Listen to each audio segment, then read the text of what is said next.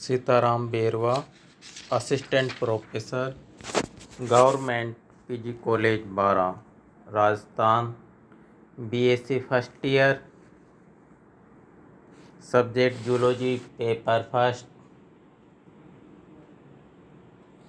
छात्रों online classes में आपका स्वागत है। छात्रों, आज हम आपके सामने एरिया ग्रेनुलोसा इसे भारतीय पशु जोक कहते हैं, उसकी एक्सटर्नल स्ट्रक्चर के बारे में अध्ययन करेंगे। एक्सटर्नल स्ट्रक्चर में जो ये डायग्राम दिखाया गया है, ये एक एक्सटर्नल स्ट्रक्चर का डायग्राम है, जिसमें जोंक के नीचे तैंतीस खंड होते हैं और तैंतीस खंड को इसमें डिवाइड कर रखा है। ये ए वाला डोर्सल साइड का डायग्राम है और बी वाला वेंटल पोर्शन का डायग्राम अदर सतह का। ए वाले डायग्राम में देखिए,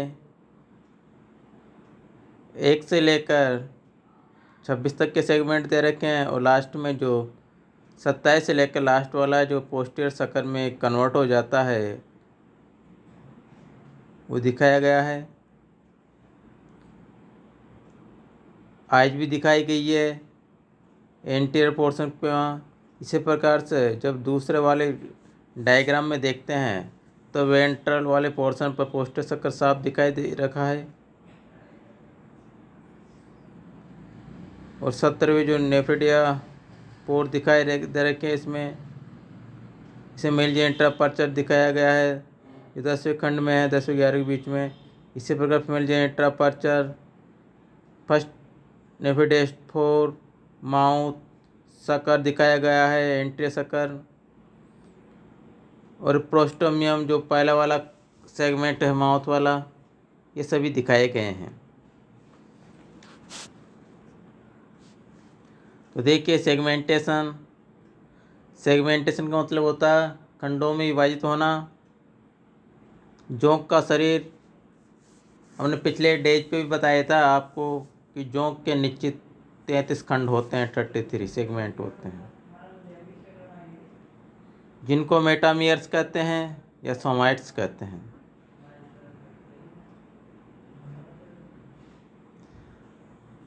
पहले दो तथा अंतिम सात खंडों को छोड़कर शेष खंडों में से प्रत्येक खंड फिर से अनेक रिंगों में विभाजित होते हैं। और एक प्रारूपिक, एक टिपिकल सेगमेंट में पाँच रिंग होते हैं। वे सेगमेंट जिनमें पाँच से कम रिंग होते हैं, उन्हें इनकम्प्लीट सेगमेंट कहा जाता है। तथा जनन काल प्रोडक्शन टाइम आने पर नवे दसवें और ग्यारहवें खंड पर एक अस्थायी क्लाइटेलम का निर्माण हो जाता है। नेक्स्ट ग्राही रिसेप्टर चौक के अंदर भी ग्राही अंग पाए जाते हैं, जो डिफरेंट टाइप के स्टिमुलस को रिसेप्ट करने वाले ऑर्गन्स रिसेप्टर ऑर्गन्स कहलाते हैं।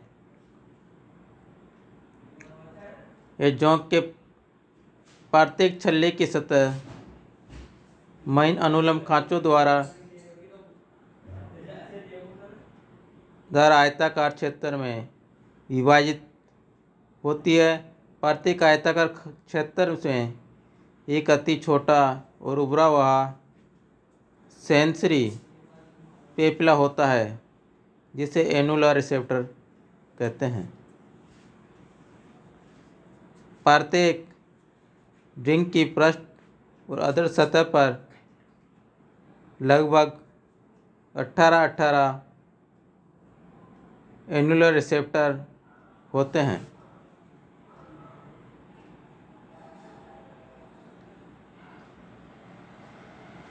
ये डायग्राम दिखाया गया है सेगमेंटेशन का। इससे पहले क्राइयों के अलावा प्रत्येक खंड के प्रत्येक रिंग की ऊपरी सतह पर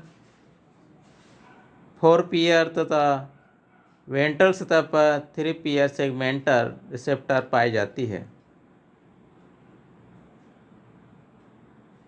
जो बड़ी बड़ी सेंसरी पेपिला भी होती है। प्रथम पाँच खंडों में से प्रत्येक के प्रत्येक के पहले रिंग की पृष्ठ सतह पर एक जोड़ी आइज़ होती है और इन सेगमेंटों को ओकुलर सेगमेंट कहते हैं। क्योंकि पहले पाँच खंडों में आइज़ पाई जाती है और पाँचों जोड़ी नेत्र जोंक के अगले सिरे पर एक अर्धवर्ताकार ब्लैक स्पॉट की तरह दिखाई पड़ते हैं। इसके बाद में नेक्स्ट शक्कर आते हैं, चूसक कहते हैं। ये शरीर के प्रत्येक सिर पर एक खोखली पेशी जैसी संरचना होती है, जिसे चूसक या शक्कर कहते हैं, जिसे एनिमल से चिपकता है और सकिंग करता है। ये हिडोन एरिया को प्रकट करता शरीर के मध्य भाग का एक सेगमेंट है, जिसमें ए वाला डोर साइड वाला दिखाया गया और बी वाला वेंटर पोर्शन को दिखाया गया है। और ये कंप्लीट टिपिकल सेगमेंट होता है, क्योंकि पाँच पाँच रिंग वाला है। ए वाले में देखिए डोर साइड में। मीडियन डोरसल दिखाया गया है, इनर लेटरल दिखाया गया है, आउटर लेटरल, मार्जिनल और सेगमेंटल रिसेप्टर और ये एनुलर रिसेप्टर जो प्रत्येक रिंग में अट्ठारह अट्ठारह जोड़ी होती है। इसी प्रकार लॉन्गिट्यूडल रिंकल्स नीचे दिखाई गई है। बी वाले में भी पाँच एनुलर दिखाई गई है छल्ले। और इसमें भी segment receptor annular receptor inter annular grooves rectangular area और लेटरल मीडियन वेंटल सब दिखाए गए हैं।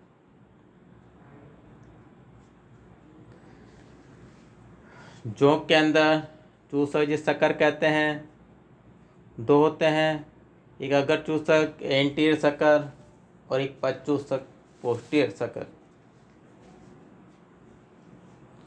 अगर चूसक जिसे सिपेलिक शक्कर भी कहते हैं, जो प्रोस्टोमियम और शरीर के अगले तीन खंडों से बना होता है। इसकी स्ट्रक्चर अंडाकार होती है। इसमें नीचे की ओर को एक प्याला जैसी समान संरचना अवतल प्रकार की होती है, जिसे प्रीओरल चैम्बर कहते हैं। इसी के आधार पर माउथ स्थित होता है। तो पहले तीन सेगमेंटों से मिलकर बना होता है, इसे एंटीरियर शकर कहते हैं। नेक्स्ट पोस्टीरियर शकर जिसे पच्चूसक कहते हैं। यह भी एक वर्ताकार तथा अत्यंत पेशे डिस्क नुमा स्ट्रक्चर होती है, जिसे पच्चूसक या पोस्टीरियर शकर कहते हैं। यह एनल सकर भी कहते हैं। यह भी नीचे की ओर दिष्ट रहता है, दिखाई देता है।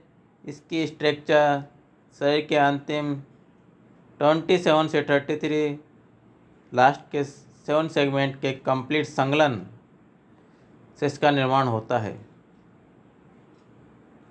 जो कि एक गोल सन केंद्रित रिंग में व्यवस्थित रहता है कंसेंट्रेट रिंग में अरेंजमेंट रहता है। दोनों शक्कर का कार्य मुख्य रूप से एनिमल को चिपकाना तथा गमन में सहायता प्रदान करता है। तथा शक्कर फीडिंग में भी सहायता करता है, अगर मुख भोजन ग्रहण करने में भी, की क्रिया में भी। सहायता प्रदान करता है।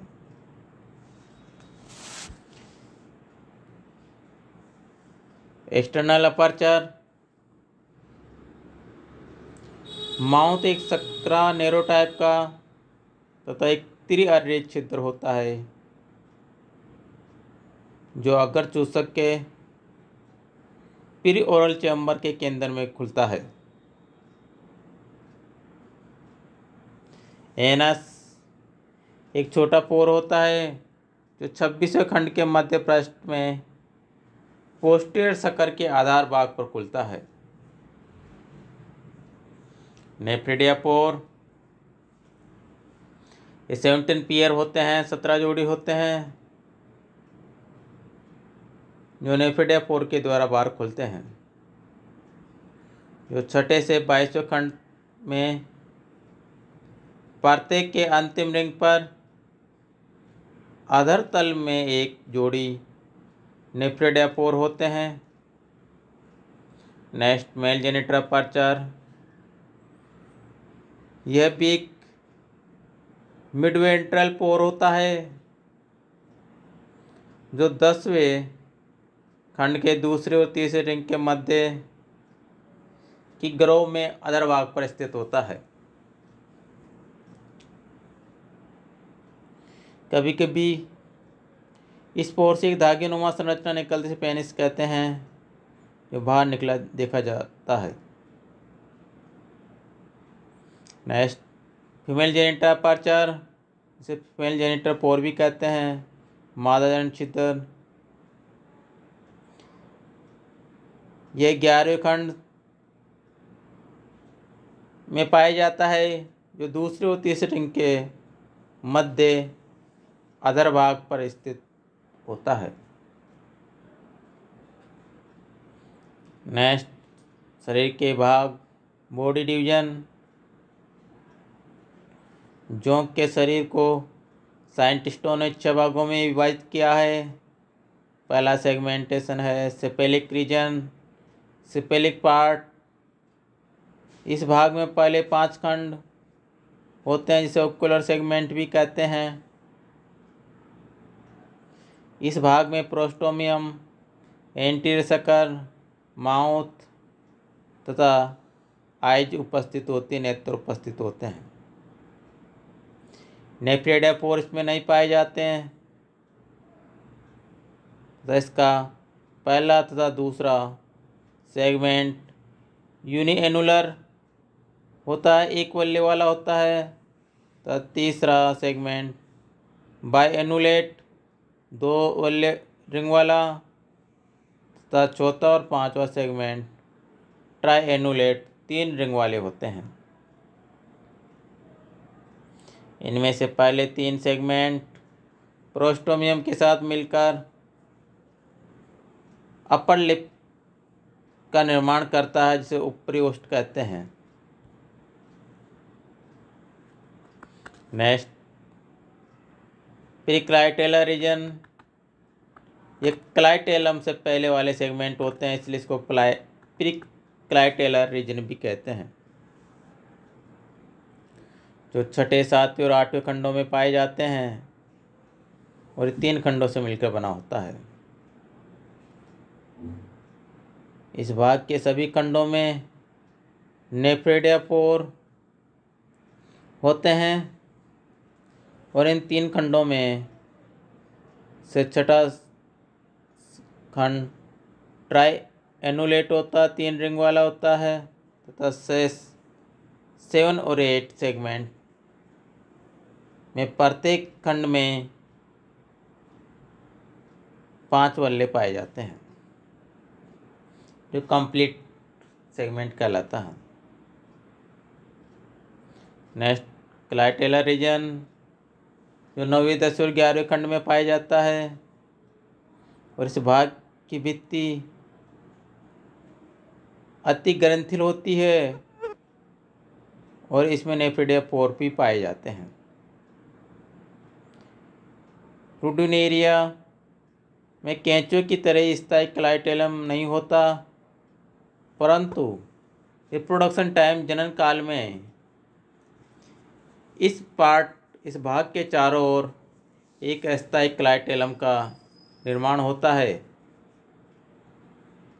तथा male and female genital aperture जो दसवें तथा ग्यारहवें खंडों के मध्य अदर भाग पर स्थित होते हैं। और इस भाग के सभी सेगमेंट पंचवल्य होते हैं, क्योंकि पाँच रिंग पाई जाती है और ये सभी सेगमेंट, टिपिकल सेगमेंट या कंप्लीट सेगमेंट कहलाते हैं। नेक्स्ट, मिडिल रीजन इसे मध्य भाग कहते हैं यह बारहवें से बाईसवें खंड तक पाया जाता है, टोटल ग्यारह खंडों से मिलकर बना होता है। ये सबसे बड़ा पार्ट होता है। और इस भाग के सभी सेगमेंट पंचवल्य होते हैं, जो कंप्लीट सेगमेंट होते हैं। इनमें एपिडेपोर पाए जाते हैं। इसके अलावा कोई पोर्जी संरचनाएँ नहीं पाई जाती।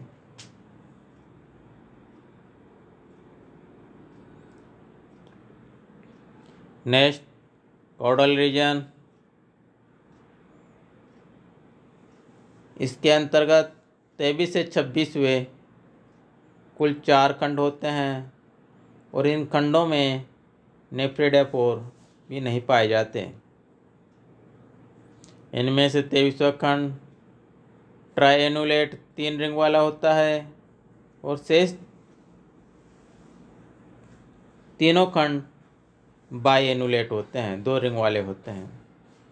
इस प्रकार ये चारों सेगमेंट इनकम्प्लीट कहलाते हैं। तथा छब्बीसवें खंड के मध्य पृष्ठ भाग पर एक पोर पाया जाता है, जिसे एनल अपर्चर भी कहते हैं, जिसमें एनस खुलता है। लास्ट पोस्टीरियर सकर जिसे पच्चूसक कहते हैं। तो पिछले सात सेगमेंटों से मिलकर बना होता है। यह सत्ताईस से तैंतीसवें खंड तक। कुल सात खंडों का बना होता है। इसके सभी सेगमेंट कंसंट्रेट सन केंद्रित रिंगों में अरेंजमेंट रहते हैं। और प्रत्येक खंड केवल एक रिंग से निरूपित होते हैं। इस प्रकार इनके सेगमेंट भी इनकम्प्लीट होते हैं। तो छात्र इसके साथ ही आज का एक टॉपिक का एंड होता है। धन्यवाद।